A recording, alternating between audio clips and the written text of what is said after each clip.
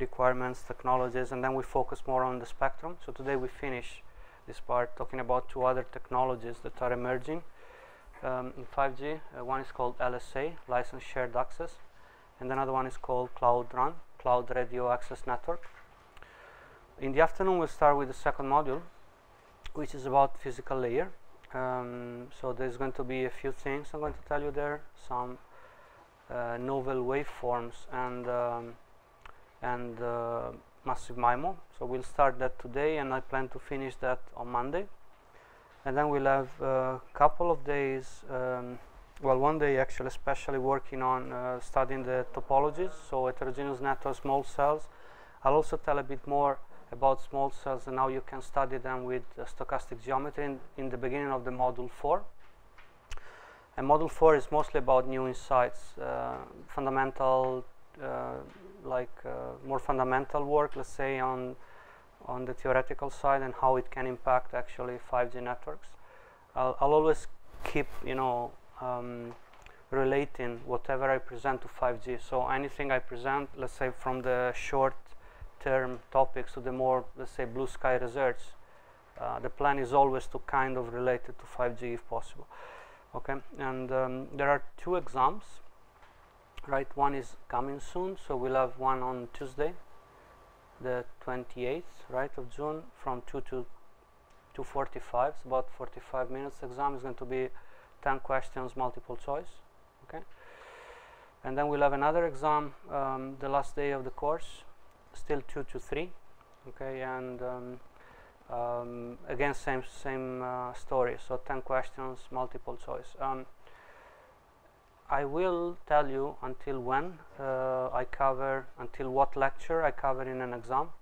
Okay, so I will definitely not cover in an exam what we do this, the very same day, um, but I will cover up to the day before. Okay, so what you will find in the quiz on Tuesday is going to be up, uh, comprising what we do up to Monday, and the same with the last exam, right? But the last day is not, uh, I mean the day of the exam is not included in the quiz of course. Hmm? Okay, any question about the logistics of the course? No? Hope it's more or less clear. Um, okay, so we are we are first to discuss a bit about um, um, the value chain. So value chain in the sense of uh, mobile network operators. So you do have basically a few um, blocks you see in this in this arrow so you do have bands uh, which traditionally are licensed. So you pay, you basically participate to an auction, and if you win the auction, you get the spectrum, right? That's what operators uh, do uh, to get. Uh, that's what Airtel or Vodafone or you know any other operator do to get their spectrum to operate on.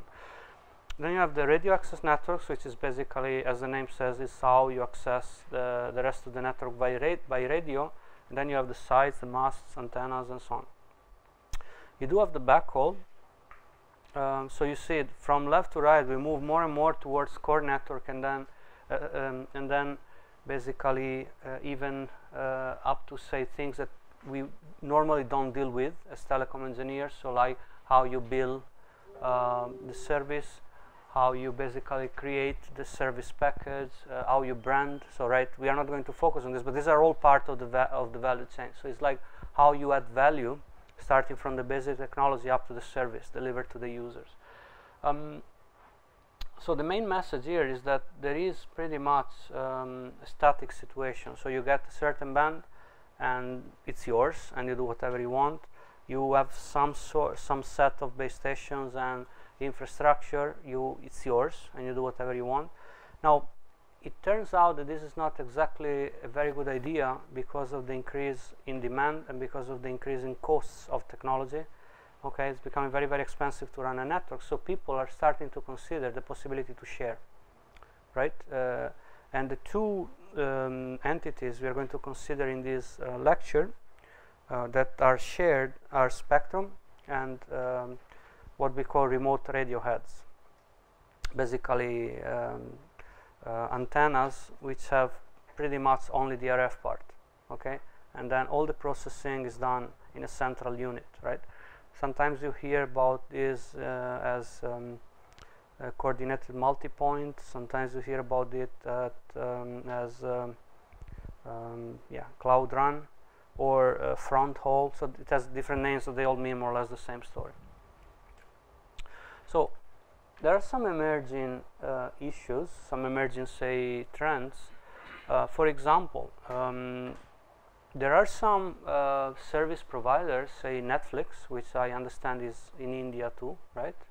Like this basically website in, uh, and um, you register, you pay a monthly fee and then you can watch on-demand uh, streaming basically you can watch any video series movie and documentary and so on there are others there is a nice one if you're interested it's called curiosity stream and this is just about documentaries related to science and technology it's very good it's like very specific and you know but the concept is similar to netflix and then and then others um, so what these guys do they do provide uh, the basically the the service but they do not own anything pretty much. They do not own the spectrum, they do not own the infrastructure, the antennas, the backhaul.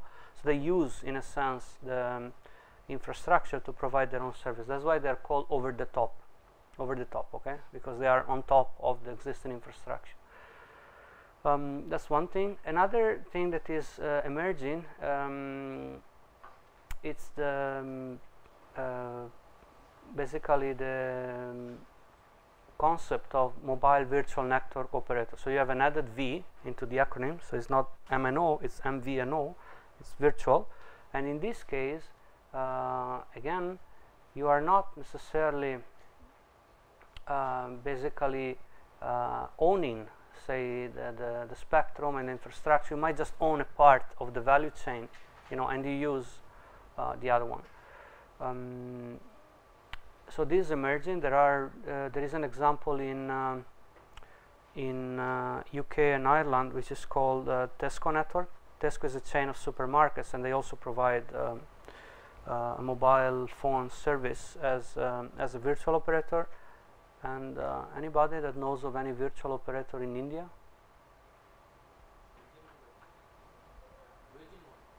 Vir Virgin, right? Yes. So that's probably the only one, right, uh, of national relevance. Yeah. So Virgin Mobile is doing that. So they basically use, okay, the, um, the, the infrastructure and the spectrum provided by others, and they use it for their own service. Now there are, I'm not into the business part of the story. I suppose there are some uh, agreements, right? They will probably pay a fee, or they will, right? They will rent. It's like they rent the the, the network and they provide their own service. Um, can even be more extreme than this. You can also have what we call um, service providers. Okay, um, so service provider would not even be running the network. So you have like the manufacturer providing the infrastructure. You have the network operator running the network, like uh, Airtel. But you can also have service providers. So again, you could have another layer of um, of virtualization where you uh, you use the services provide not the services but the functionalities provided by the net network operator and you provide your own service okay uh, for example you can imagine if uh, if you have a company that wants to distribute digital content on mobile phones they could use the network of Airtel to provide their own service right so there are many things happening in terms of the business side of the story you also have complementary value chains uh, nowadays where you have um, uh, networks based on Wi-Fi, like Google is doing a project, uh, Google Fi I think it's called, right? And they have a lot of, uh, it has a lot to do with Wi-Fi usage. Um, uh, so you can, I mean, part of uh, these emerging issues is also related to what we're going to say today. So LSA is basically a way to share the spectrum. It could be radar band, as we discussed yesterday. But um, I mean, yesterday we basically talked more in, in terms of the normal cognitive radio. So where you have um, a secondary, in a sense, trying to sneak in, not disturbing the primary. LSA is different in the sense that you are perfectly legitimate, um, per perfectly legit as a as a um, user of that spectrum. Okay, so you enter in an agreement with uh, uh, supervised by the government, where you basically might pay a fee or might not, depend on the on the arrangement. But you, the time um, for the time and the region where you are allowed to use the band, nobody else will. So this is what we call exclusive sharing okay it's, exact, it's something in between licensed and unlicensed. So many things are happening in terms of the spectrum. Also in terms of the infrastructure, uh, because of this influence of the cloud paradigm, now in a sense you could pick and choose which terminals, which antennas uh, you want to use to provide your service. Okay, and for example, if you have users in a certain area, you might just think to activate a part of the cloud RAN. If your users are somewhere else, you might activate another part. Okay, so you are not you are, you are not in a sense deploying the network. You are using it, and you pay a fee uh, um, according to the usage. Okay, so you are again uh, virtualizing the resources. To your users, doesn't matter because it will look like uh, as if you own the resources. Doesn't matter. Okay, but to you is different because you don't have the deployment costs as an operator. You pay possibly actually much less than just buying the spectrum or you know buying the infrastructure or deploying it so you are actually paying uh, a rent fee in a sense, okay, usage fee.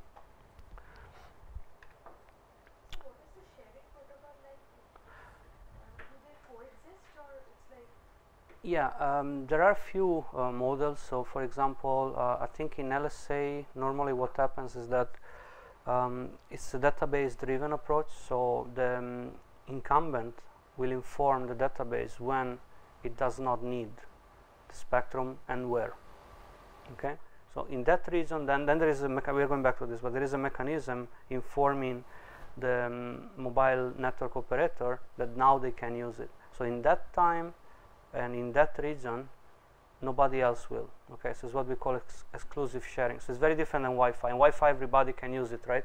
Anywhere. Here is different. So it's kind of trying to get more spectrum but still guaranteeing the quality of service and not having to pay the fee that you have normally to pay to get licensed spectrum, right?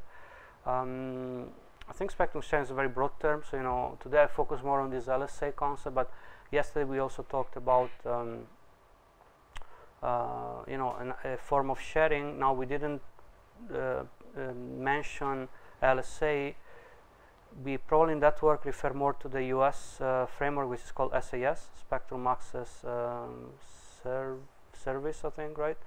And it in in spirit it's very similar to LSA they just have an additional um, layer which we don't consider in our work which is called um, generalized general authorized access. So where again it looks like a bit uh, Wi-Fi so if the first two tiers incumbent and uh, say uh, licensee operators like the secondary won't use the spectrum then uh, potentially any Wi-Fi access point could use it. You know, so it's going to be unlicensed. Um, so there, it, there are you know a few flavors, but in the main, the the the trend in the new um, sharing paradigms is that you want to provide quality of service to the secondary users. In a sense, it this is a more down to earth, let's say.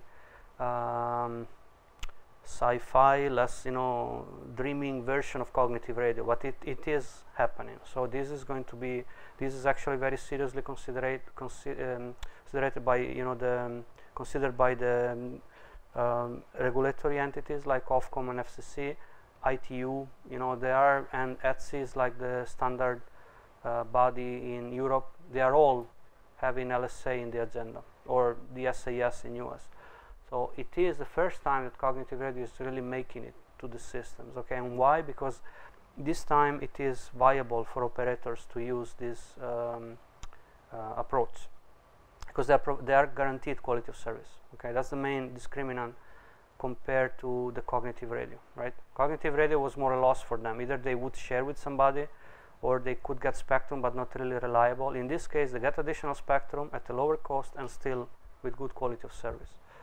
Um, of course, it's not forever, so at some point you might have to give it back. So it's more like to increase your capacity, adding some spectrum, right? So, but you still have to have your uh, dedicated license spectrum, right, to, to provide, let's say, a stable um, operation. Then you, you add these when you need. Mm?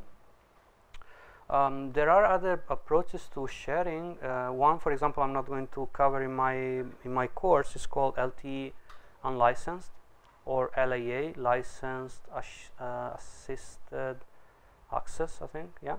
And this is uh, mostly, I think, championed by Qualcomm. Okay, and LSA instead was originally intro introduced by NSN and Qualcomm. So companies are very much behind this.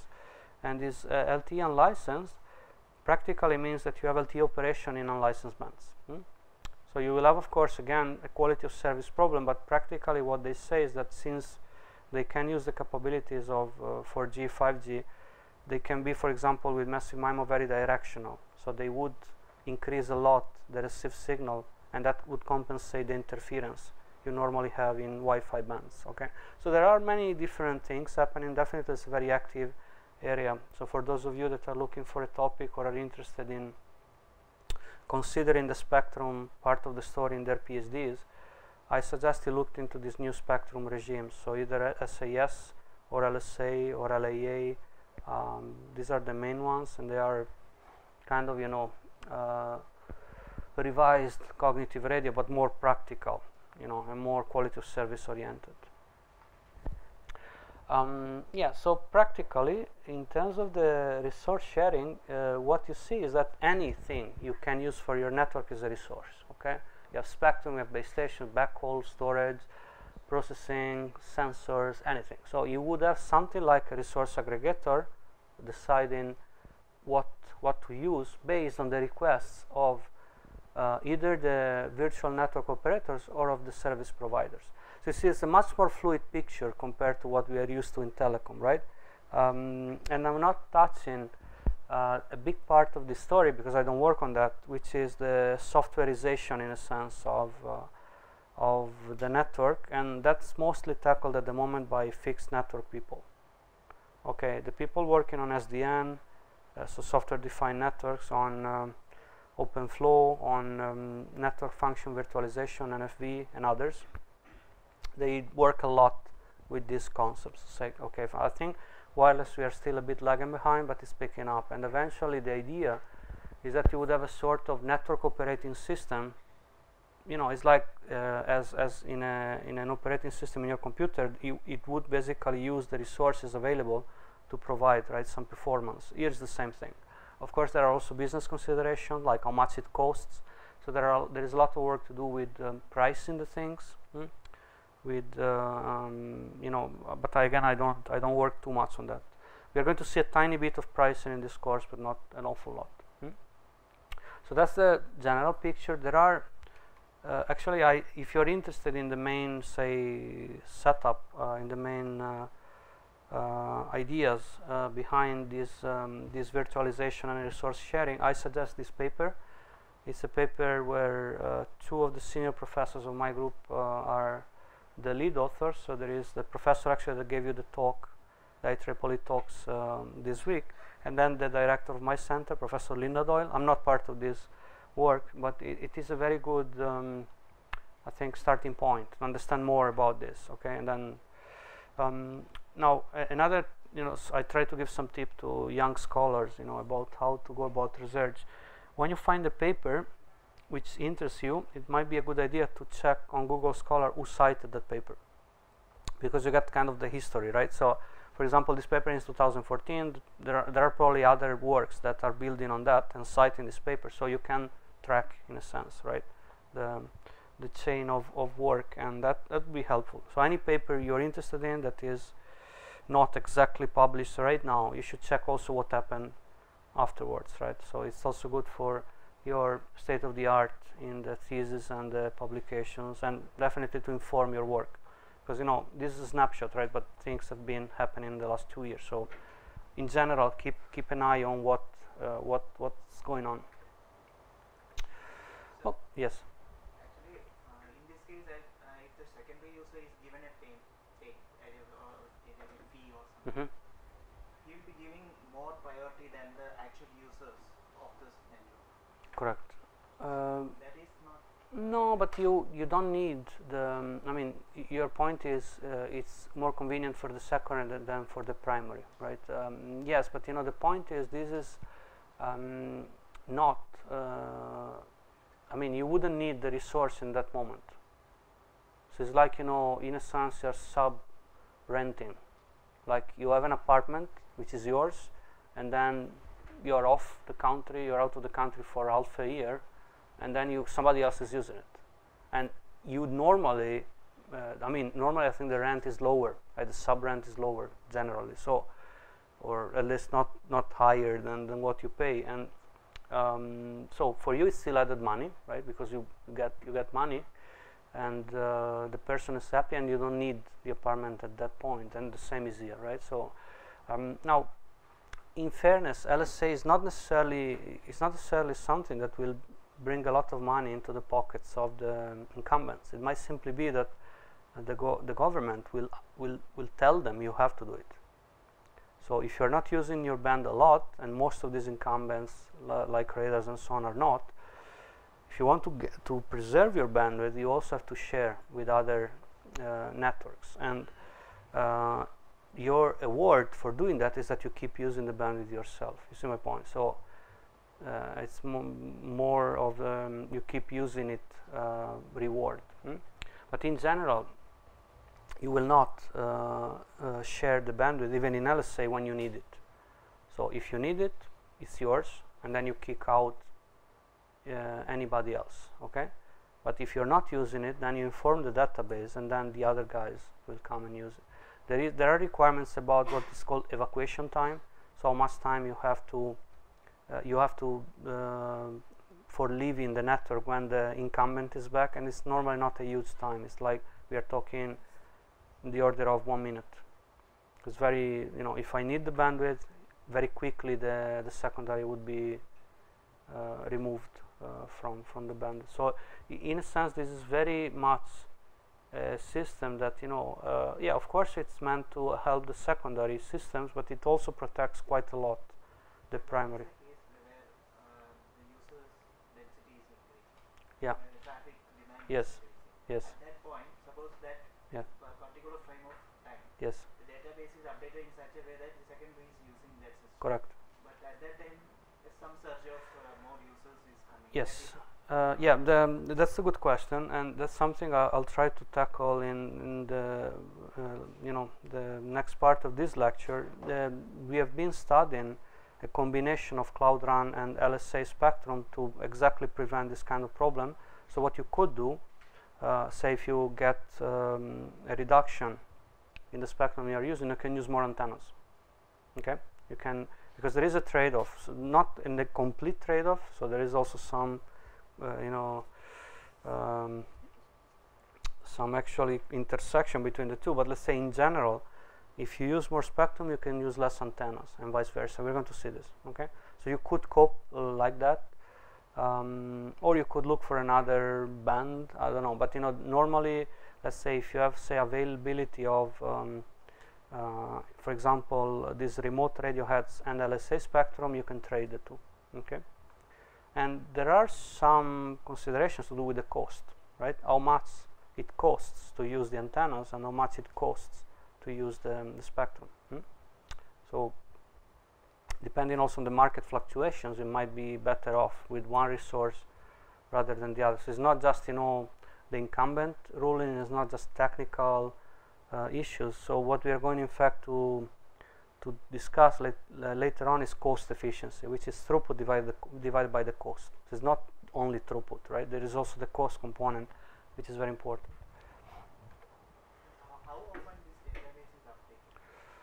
Um, there are, I think, you know, if you check like the documents from ETSI, there are um, indications.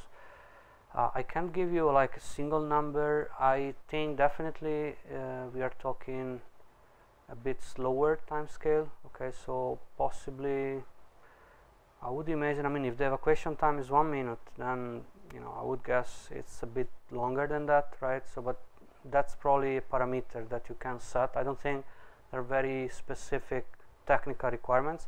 It's more probably of um, uh, regulation question right? So how much they want to protect the incumbent I suppose. Because you know the problem is if you um, allow secondary users to use your spectrum and you get at some point uh, a need to reclaim the spectrum you should not wait too long right so I think um, you know it shouldn't be uh, a huge amount of time and it should be you know reasonable in comparison with the evacuation time. Um, if you want specific number, I can dig it out. Okay, but there are there are documents that probably will tell you a bit more about that. Um, I mean, one thing, for example, I can tell you is that normally, um, like LSA is considering to, in a sense, to redistribute the new spectrum to network operators. Hmm? And the network operator, in turn, would have its own cells, right? And then it's, each cell would have the users to serve. So the, the time frame we are talking about when you have a cell serving the users is about a millisecond, right? Or a few milliseconds, according to LTE. Then the time you you basically you, you the time scale where you coordinate the spectrum allocation between cells is definitely longer than that, right? It could be hours, I suppose, right? So if you now talk about LSA, you're talking about reallocating the spectrum uh, between uh, operators, and I don't imagine that would happen every hour, right? So probably it's a day long, a few days long, right? So, um, and I think in general also the the operation of an incumbent is not changing every second, right? So you might have, a, for example, if you're a radar uh, working for the army, you might have, of course, to run some operations. So you want to be to have that zone off limit. But I don't think this is going to change every half an hour. Now the, the defense people might confirm this, right? You have some, of course, some activities and so on, but nothing that will ha will, ha will happen, you know, uh, all of a sudden, right? So you do have time to, to plan accordingly. So I think this, you know, design of the database update is, is an interesting problem. We didn't tackle it too much, but it's, it's probably something worth looking into if you're interested. Um, now, what happens in um, if you combine, uh, let's say if you use Cloud RAN, is that you have basically these uh, remote radio heads, right? And they are connected uh, via a fiber link to what we call uh, a centralized uh, baseband processing center and these uh, BBUs boxes are the base baseband um, units hmm? so for example Netflix or say an M2M service like a machine to machine service could share the capabilities of um, of the baseband uh, processing center and the remote radio heads right?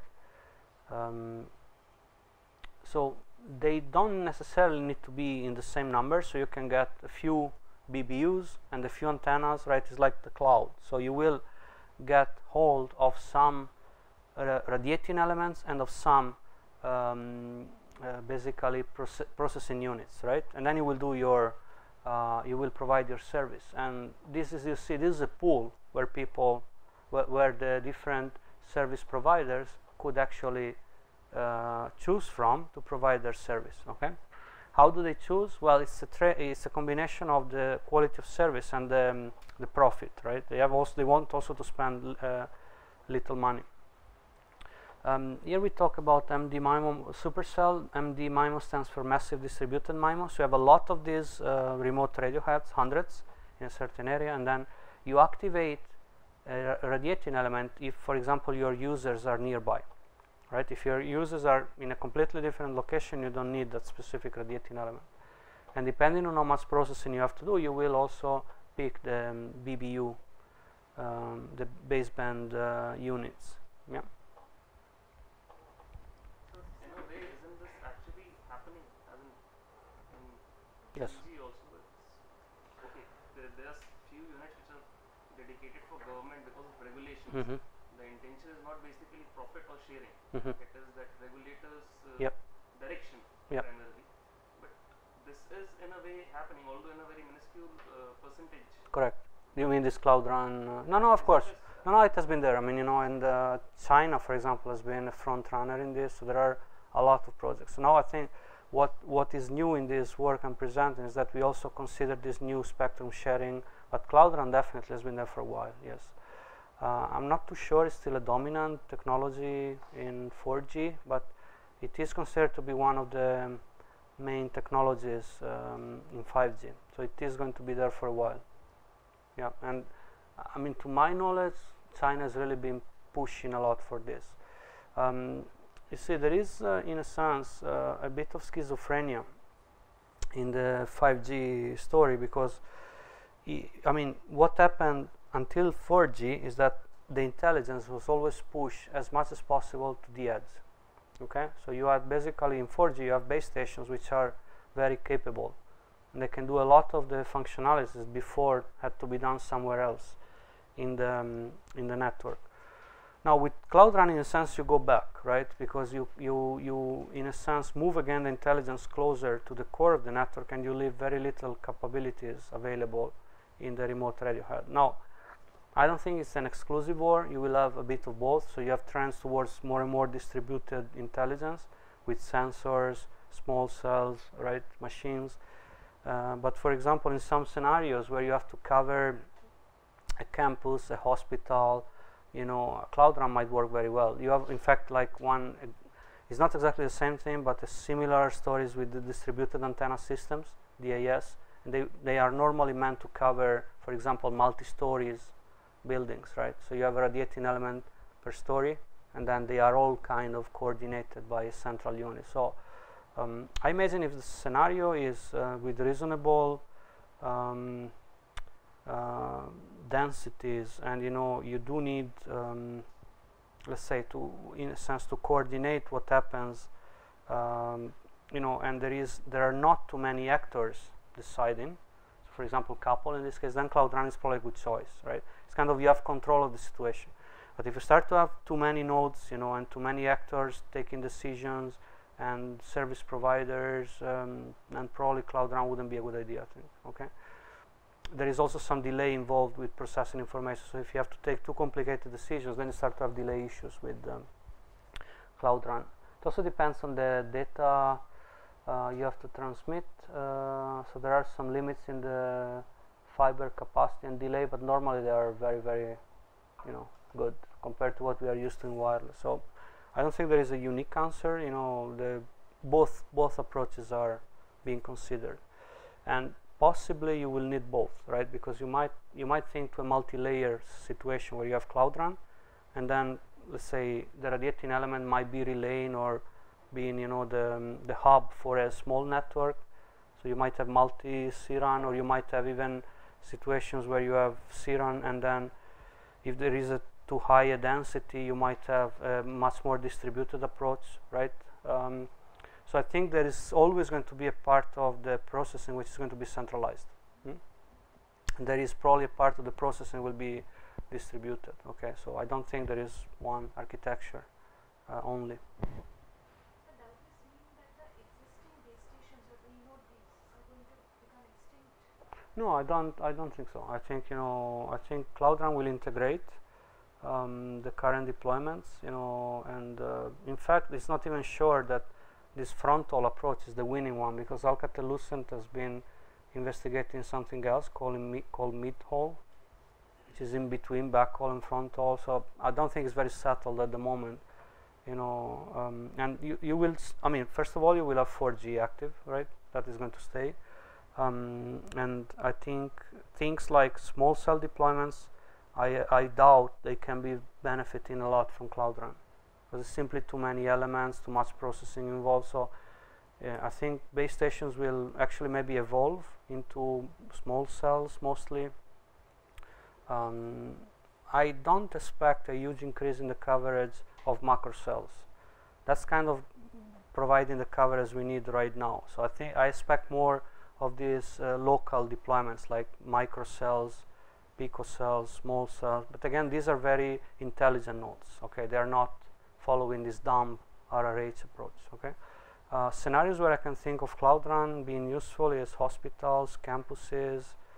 Um, okay, and uh, possibly, yeah. I mean, uh, situations where there are not so many actors taking decisions, right? It's always, if you go back to the lecture of Professor Da Silva, even theoretically, you have two approaches to things, okay? You have an approach which is uh, of an optimization nature, central entity deciding, right? A genie knowing it all and taking the best decision ever. And then you have a uh, an approach which is more distributed. Game theory is an example. We're going to see some examples from complex systems later in this course. These are all belonging to this more, say, uh, distributed uh, situation. In fairness, complex systems can also be used for central decisions, but uh, let's say a big part of it is these autonomous agents deciding. Okay, so if you have reasonable um, if you have a reasonable time frame okay so in a sense it doesn't take you too long to collect information and take a decision centralized approaches are going to be better. So it depends on the density also right and how much exchange of information is there. If you start to have gazillions of uh, radio heads i don't think cloud RAN would work very well right so because it will take simply too long before you take a decision. So in that case you might actually be better off maybe with um, multi-layer approach. So you do cloud RAN up to some point, but then maybe the local, uh, you know, uh, cluster of uh, machines or you know small cells might be better off with a more distributed approach, Mm, right? So it's not. I don't think it's a black or white situation. It's more of a gray uh, area. Actually, this uh, as per 5G, Cloud RAN is the one of the future technologies. Mm. At the same time, 5G is telling the latency should be less than 1 millisecond. Correct.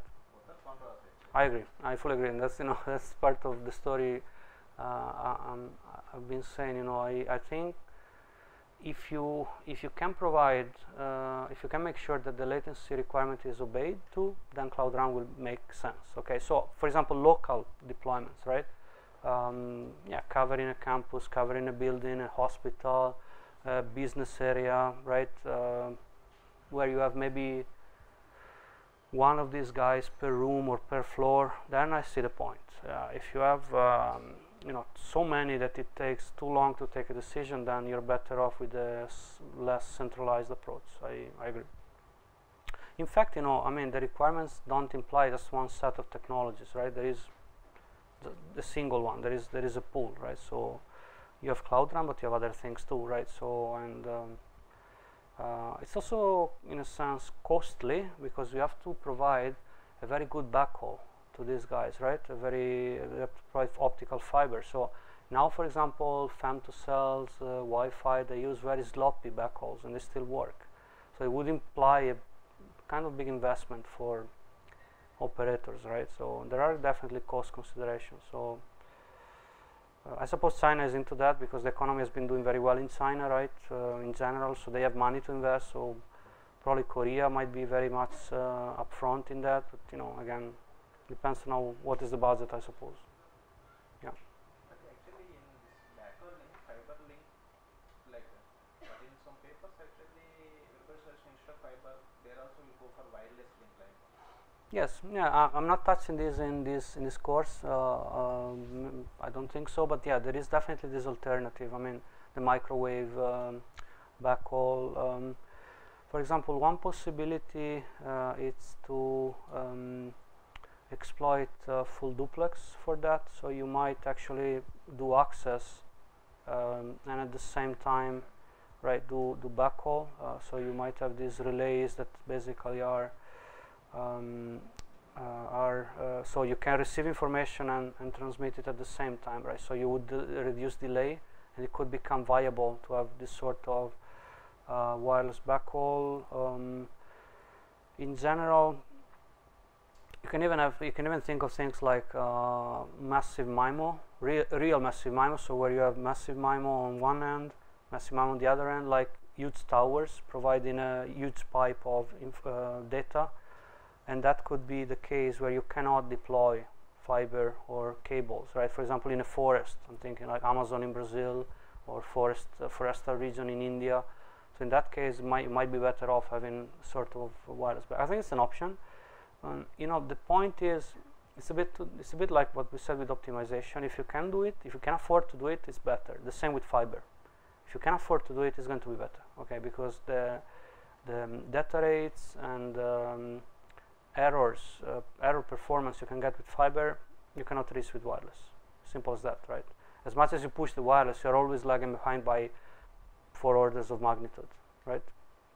If now we talk a gigabit per second in wireless, those guys have been talking about terabit per second for, for ages, right? So uh, you cannot compete on that ground, but uh, for example, for ease of deployment, cost issues, you know, then yes, then there is a point. Like the the wireless is kind of infrastructure light right compared to optical. So again you know it's it's uh, it's a landscape of trade-offs eventually.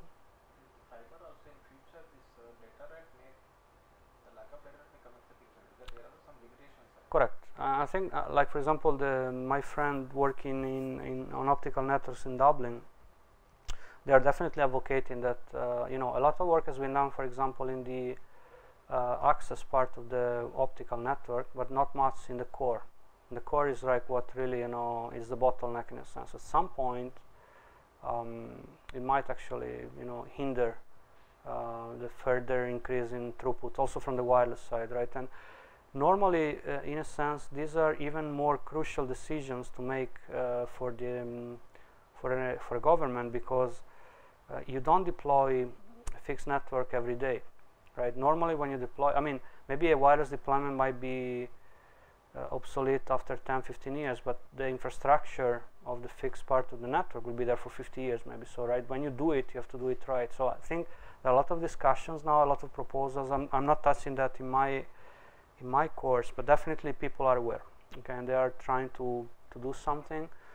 Uh, they try to make it also lighter. For example, some proposals they skip the um, metro part of the network, so you do have huge, long, very long um, ducts connecting the core to the access directly. They call it long reach passive optical networks (LRPON). So there are there are you know some proposals to to cope with this, but in the main, I see a lot of work in the access on optical side. Uh, still not so much on the core. Other proposals involve local caching, local uh, content distribution to avoid overloading the core, right? So there are people are working on that. Yeah, just is not my my research expertise. Okay. Um, so just to give an idea about the LSA um, architecture, so you have basically um, few things. Okay, this is part of a this this was proposed um, uh, by a European project I'm uh, I'm working on. There is a paper here which uh, will appear soon for publication if you're interested. Um, anyway, this reflects also other trends in LSA. Okay, it's um, the main story is similar. So you have uh, LSA licensees which are the secondary networks and you can think of them for example as mobile operators not necessarily but these are the secondary hmm? These communicate with the block which is called uh, band manager and will decide based on the rules it gets from the national regulatory authority NRA based on the agreement of the sharing based on authentication okay based on resource availability it will decide what to do in terms of allocating the resources. So as, a, as a, an operator, as a licensee, you would request some resources, but then you might be given all you ask or not, depending on availability and other rules, right? Um, and billing is there, so you might actually have to pay a fee, right, for using it. Now, this is the um, is let's say the LSA uh, core part, and then it communicates with a block called radio environment map, which in essence takes uh, gets input from two things the repository or database and a certain sensing network.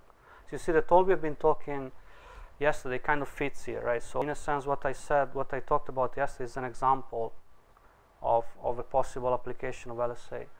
Um, and the repository would get input from the incumbents. They would tell their usage patterns in time, frequency, space and the sensing would be actually uh, also contributing to refine this information. Normally, sensing could provide a finer picture in terms of time and uh, space, right? It's like more refined.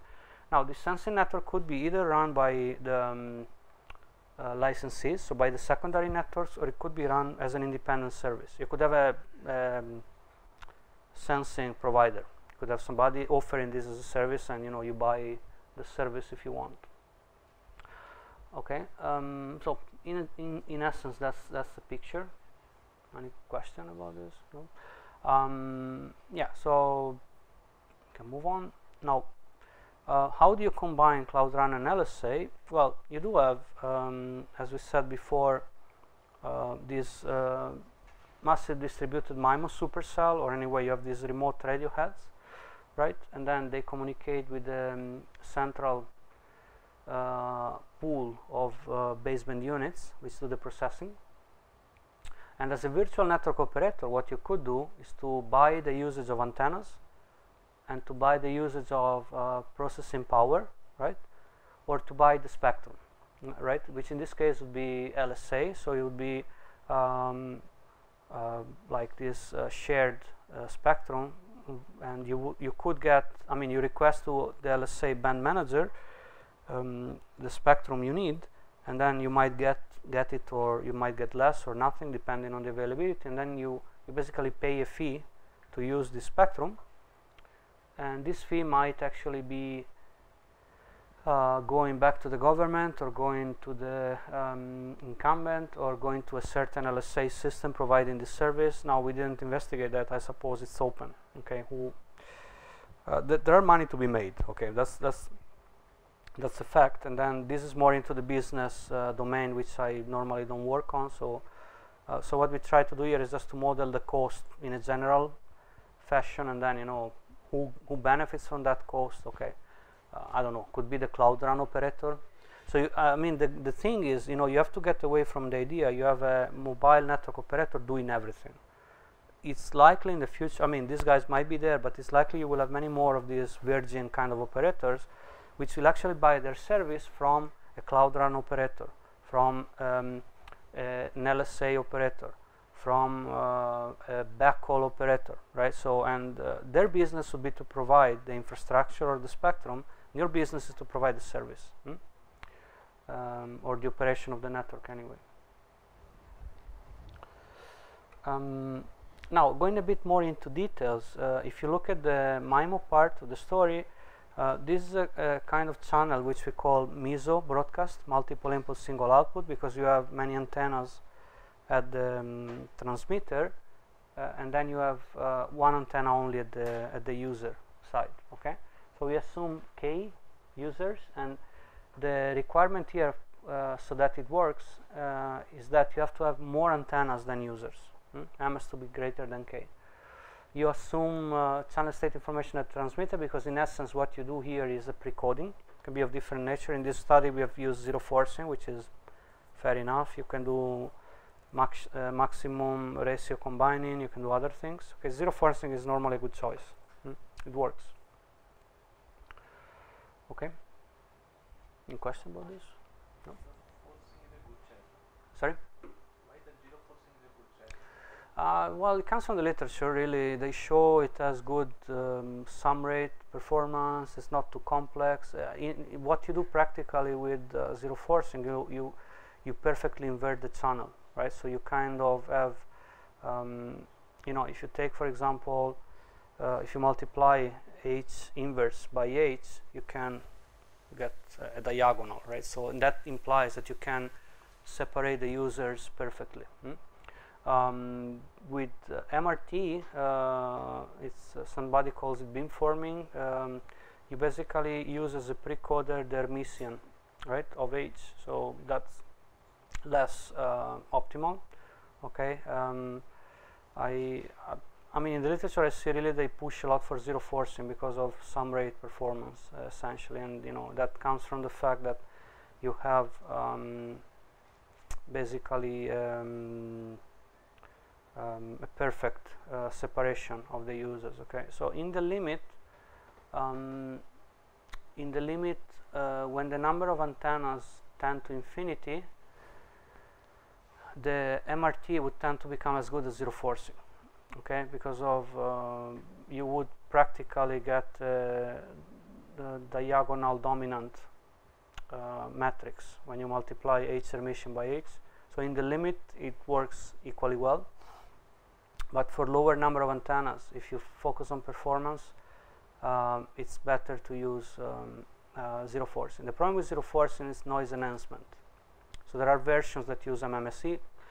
In the main, I don't see big difference in, in this domain compared to the normal MIMO. Okay, there are just better gains due to the higher number of antennas. And normally in MIMO, in the 4G or 3G, you would assume multiple antennas at the users. 5G is more modest because eventually it didn't happen to have many antennas, uh, multiple antennas at the mobile. So now they assume normally one antenna per user. But all to do with pre-coding, multi-user MIMO, still applies. Okay, the, you just have a more, you have a closer to a, a, situation which is closer to the asymptotic situation because of the high number of antennas. So multi-user interference becomes very small, noise becomes very small, but the main technologies are the same. Okay, so I think zero forcing is um, is a good idea. Since with massive MIMO you tend to have no no noise impact, you don't necessarily need an MSE. See zero forcing is probably, I mean, from what I see, they also have some way to regularize the precoder. They call it uh, generalized zero forcing, I think, or regularized zero forcing. But in the main, it's still zero forcing. Yeah, that's the choice I think you you get from the literature.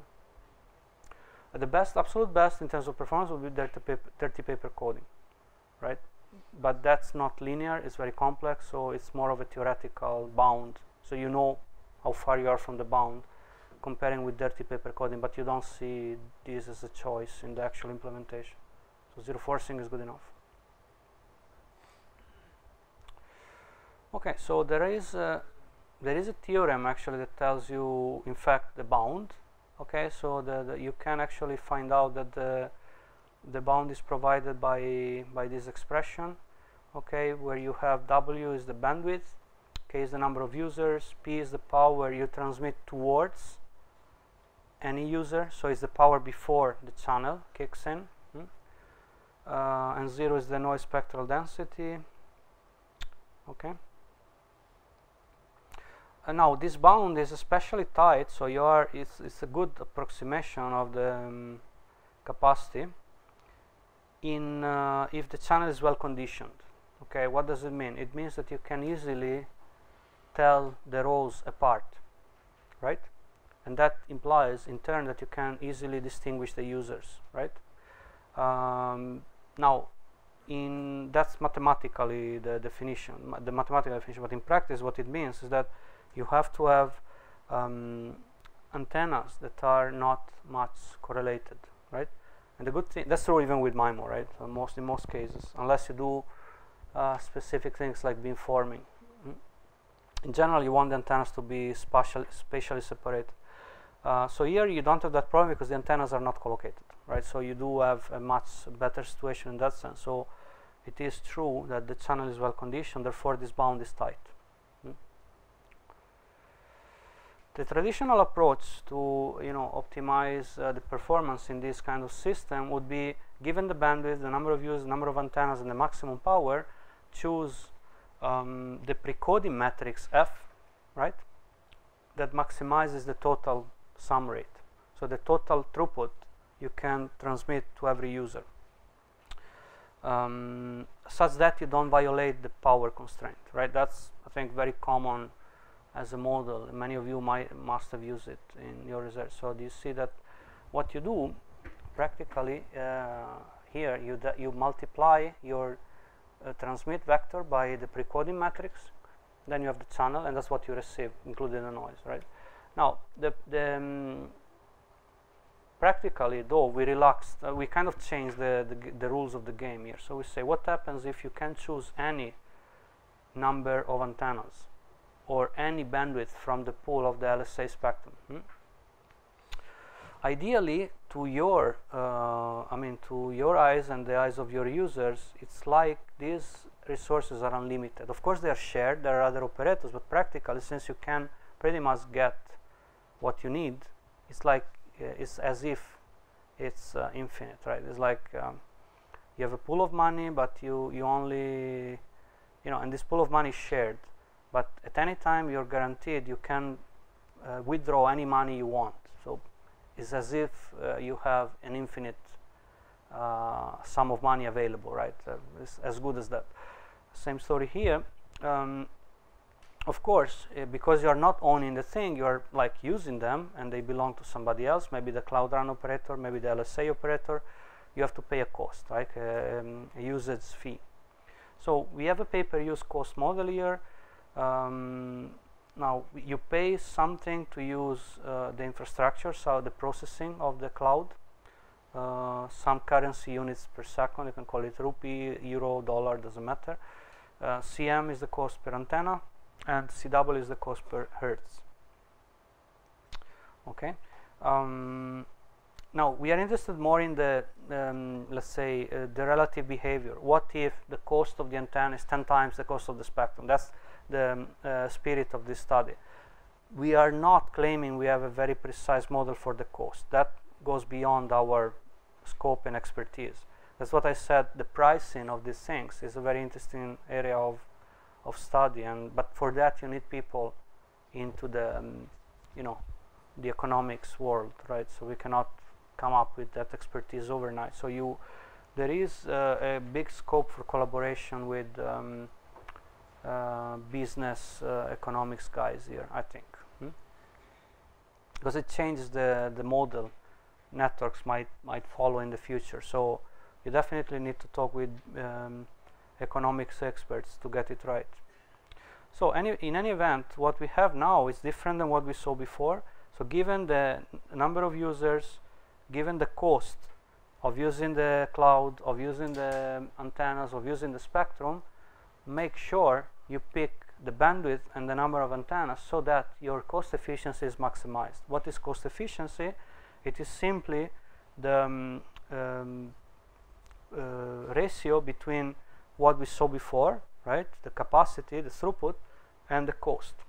Now, the cost per antenna and per unit of spectrum is um, has to be multiplied by the total spectrum and total number of antennas used. The cost of the of using the cloud uh, is is fixed. We assume. Okay, so you either use it or you don't. Okay, you can change this possibly, but that's what we we've been assuming.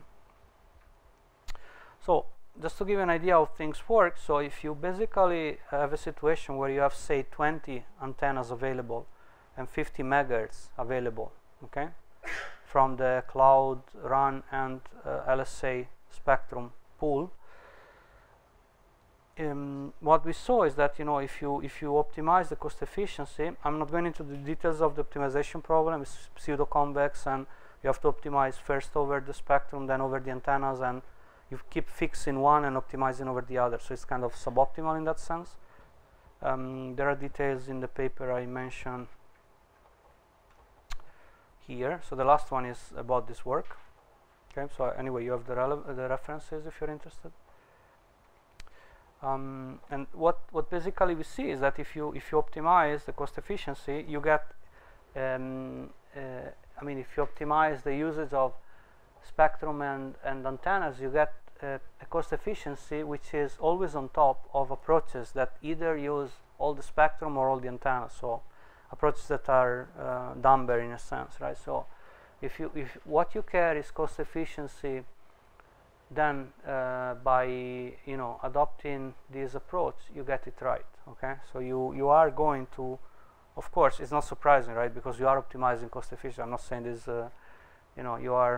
Um, astonished by the result, but just to show you know that uh, the things work. Okay, so you are definitely um, getting uh, a good um, result in terms of cost efficiency. Then you see, of course, that if you start to pay too much, in this case the spectrum, the cost efficiency will decrease because it's not going to be uh, a good deal at some point for you. Yeah.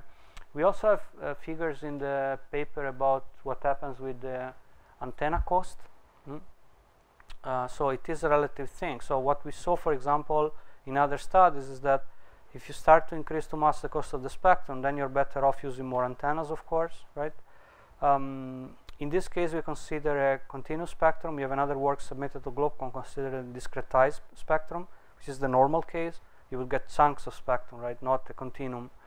Uh, and that introduces some different behavior. So, you know, but these are details. In the main, I think this gives the idea. Okay, so to conclude this lecture, um, the current model for ownership and business of the mobile operators is not viable economically. It's simply too expensive to run a network and the users are used to this flat rate uh, policy so they don't want to pay more. They just want, want to pay a fee, whatever the, the consumption. And since they're getting more and more capable uh, devices, this is going to get worse they still don't want to pay more, but they will use even more resources, right? So you do have to come up with a better solution than I build my network on my own and I run it on my own because that's probably not going to work. And if you look at the um, forecasts in terms of the profitability of current uh, mobile operator businesses, they don't look good. Hmm? They are really not uh, getting a big profit uh, at the moment. So the, the sharing uh, of the ownership might be the solution. Okay. Uh, of course, if you if you use resources that are not yours, only you pay somehow, and so there is there are uh, interesting uh, business considerations about um, actually how much you should pay and who you should pay to, right? So there are all of these new actors entering the game, like people that operate the spectrum, people that operate the cloud RAN, and and and other things, backhaul. Uh, and so you're definitely going away from a situation where you have the government running the fixed part and three or four big guys running the wireless part. It's going to be much more fluid than that in the future. And one thing that you know uh, to tell you that this is not exactly speculation is that big giants like Facebook and Google are very much knocking at the door of, of mobile um, communication uh, business, right? They are. They're serious, okay? And they are already having projects. They have a huge amount of budget. They are giants, very innovative, very young people working there. So I think, in a sense, either the mobile operators will change their mindset or they might succumb. You know that that has been historically the case. So the uh, in any institution. So I think the the, the the change is going to be driven by the fact that these huge giants of the new uh, ICT uh, era are really serious. Okay, so things are happening. Um, so Cloud RAN, we saw it.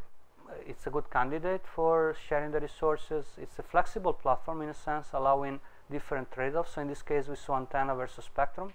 So either you use uh, more spectrum or you use more uh, antennas. Um, so if you, for example, you get requested to return the LSA spectrum you've been using, you can use more antennas. So there is an inherent trade-off between um, the two. Other things we didn't study but could be of interest, you can, for example, include power in the game. Okay, so you can have also what happens if you use more or less power, right? Again, uh, you have a budget and you will uh, uh, pay more if you use more power. Right now the power is fixed, okay, for us. Um, yeah, so there are many research challenges and open problems. So I think the most interesting thing is that it's a general framework, so you can, for example, fit in other works, like the work we have been doing with um, on radar sharing can be as well part of this, of this framework. And we do have more advanced solutions currently being um, reviewed for publication, including how you actually um, how you allocate the spectrum, which could be an auction based mechanism. Okay, so we have work on that. We have work on uh, discretization of the spectrum. We have some ideas about extending it into the power domain. So there, it's a rich research space for those of you that are interested. Okay, so I think we are good to go for lunch. And in the yes, a couple of questions. In the cost uh, cost efficiency model, Yes. uh, you have not included the revenue that you will get uh, Yes. by giving the quality of service means. Uh, Yeah, you mean the the people renting these things? Uh, what do they get? because Yes. Because the, because uh, if you use more resources, Yes. you can give, give better quality of service. I think you're right, but in a sense, this is sort of incorporated in the numerator, right? Because if you get better resources or more, you will get also a boost in the throughput. So you could say that you know you you get a certain revenue per bit, right? You you transmit. So in it is it is a thing there, okay? Yeah. Yeah, it's, it's, it's throughput, right? So of course you can have other things. Now we didn't focus on delay, right? Energy efficiency. There are many things you can do, but uh, at least there is an attempt to capture quality of service.